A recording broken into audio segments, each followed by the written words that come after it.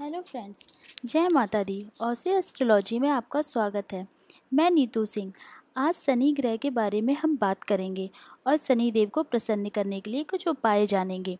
शनि देव को न्यायाधीश कहा गया है। हमारे कर्मों का लेखा जोखा सब इन्हीं के पास होता है। हमारे कर्मों के अनुसार हमें शनिदेव फल देते हैं। अगर शनिदेव हमारी कुंडली में अशुभ हैं तो आप उन्हें खुश करने के लिए क्या क्या कर सकते हैं? अगर शनिदेव प्रसन्न होते हैं तो वो जातक को राजा बना देते हैं और क्रोधित होने पर रंक बना देते हैं। शनिदेव को खुश करने के लिए कुछ उपाय इस प्रकार हैं। नंबर एक, पीपल के पेड़ में जल दें और शनिवार के दिन पीपल के पेड़ में सरसों के तेल का दिया जलाएँ। नंबर दो, शनिवार को तेल का दान करें। नंबर तीन, शनिवार को तेल ना खरीदें, इससे घर में बीमारियाँ आती हैं। नंबर चार, शनिवार को लोहा ना ही खरीदें और ना ही बेचें, ऐसा करना अशुभ होता है। नंबर पाँच, शनिवार को चमड़े से बनी कोई भी चीज़ ना खरीदें। नंबर छः शनिवार को शनिदेव को तेल चढ़ाएँ।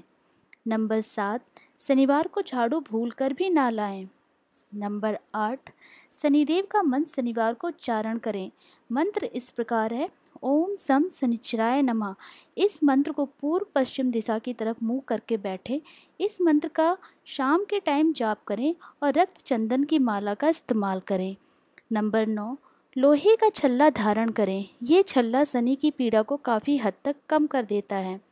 नंबर दस, शनिदेव को खुश करने के लिए गरीबों की सहायता कीजिए। उम्मीद है दोस्तों, आपको शनिदेव से संबंधित ये जानकारी अच्छी लगी होगी। तब जल्दी से मेरे वीडियो को शेयर और सब्सक्राइब कीजिए। आप मुझे कमेंट भी कर सकते हैं। जय माता दी।